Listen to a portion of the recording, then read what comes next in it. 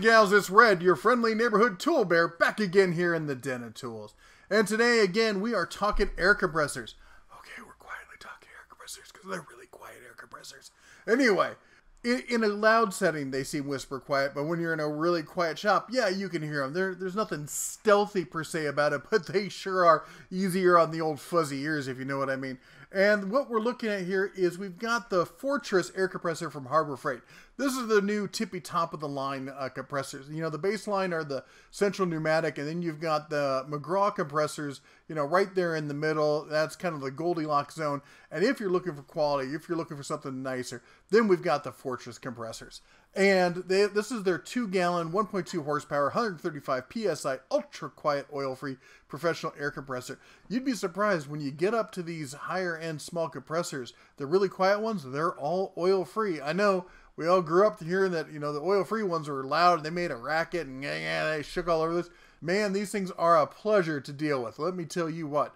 So we got the Fortress here. It's listed at 189, but you know they're always going to coupon around on it. So the real coupon price around this is about 160 right now. Now it's going against in this comparison the the champion, if you will, of the small quiet compressors that a lot of tradesmen use, and that's the Quiet Flow air compressor series.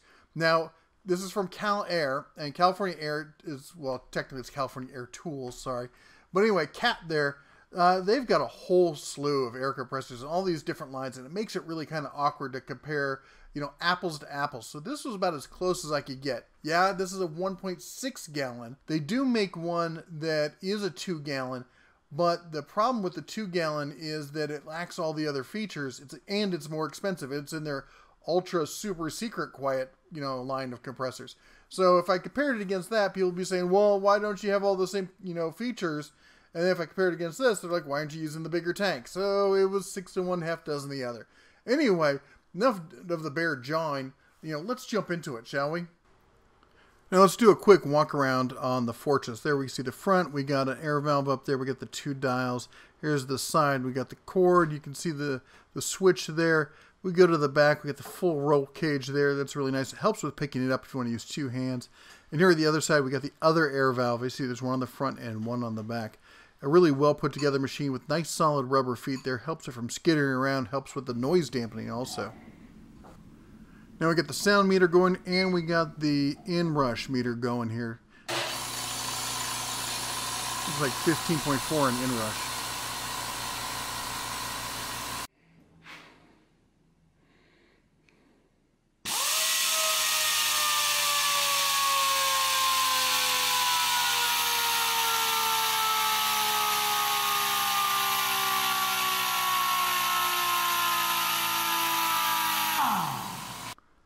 That's a tire I fully deflated. There's it's showing no pressure by the air gauge. I mean, obviously it still has some air in it, but it's it's you know it's for all extensive purposes it's flat, as flat as it's going to get on its own. So let's say using the tank, can I fill it up, or what can I get it to at the very least?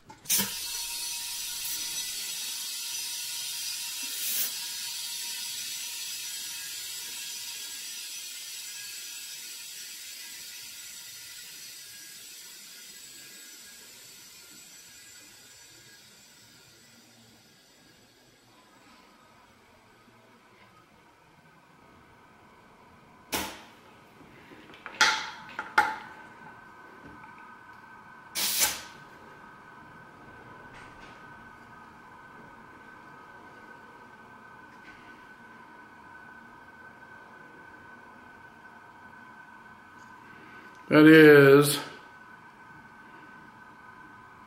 about 22 and a half. All right, now we'll do a walk around on the cat. We got uh, this one has both the air valves on the front. It's uh, it's just not as finished a product. You can see the grip there on the top. It's just kind of like an afterthought. There's no roll cage protection on the back. The uh, air valve, the air inlet there is just sitting there on the side. It can get knocked off it just feels like a, a, less finished piece. And then let's talk about those feet. I mean, one's already broken off already. They're like little suction cup things. I don't get that. And here I'm just, you know, calling out the differences there you see in the roll cage. The the roll cage on the Fortress comes down the front, wraps around the tank, goes underneath, and curls up the back. And as you can see, the large rubber feet on it protect it as well. And on the, the California Air, it's just exposed. The whole back of this thing's exposed. If it got dropped, if it, something got dropped on it, it's just sitting right there. And you have the airline sitting exposed on the outside. Now, that's an issue we talked about on the central pneumatic. And we were honest, like, hey, look, on this one, that's that's an issue. It's a vulnerability. So we're just being, you know, fair is fair here. All right, now let's check fill times and inrush on the cat. Uh, looks like a 16.3 and uh, fill time of 42.23.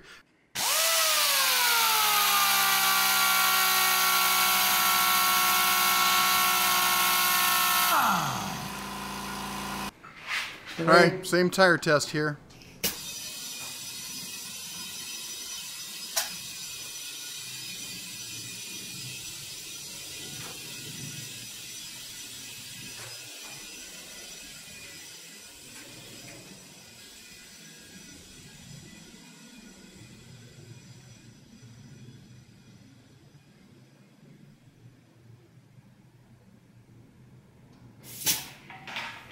Okay.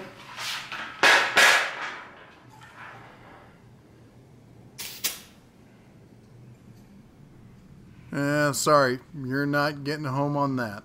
So let's talk about nail guns. Should run a brad nailer all day long. Should, shouldn't it? If only I had a brad nailer. Where would I find a brad nailer? Oh, Brad. Oh, Brad. Dum, dum, dum. Come on. Don't be like that. You know you want to let me in there. Oh, yeah. Pierce. I just chuckle every time. Somebody was commenting that they wish that Harbor Freight made high flow style valves.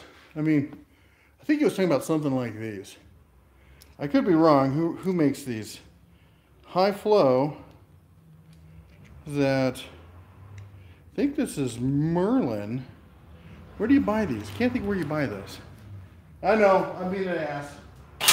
I'm on this new diet, it makes me cranky. All right, let's start off with the champ here. Okay. Let's, you know what, I'm not gonna go into the side because the side is nice and we've, we've done a lot of testing. You see the woodpeckers have been at this. So let's see what we can get here. One, two, three, four, five, six, seven, eight, nine, ten. Try to keep them all in a line. Ten in a row. Okay, there's one in a row.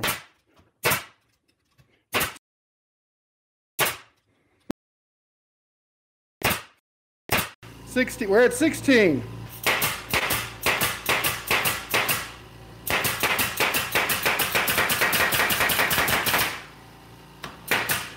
Well, it seems to keep up. All right, you guys ready? We're to try this. See how many we get off of this. One, two, three, four, five, six, seven, eight, nine, ten, eleven, twelve.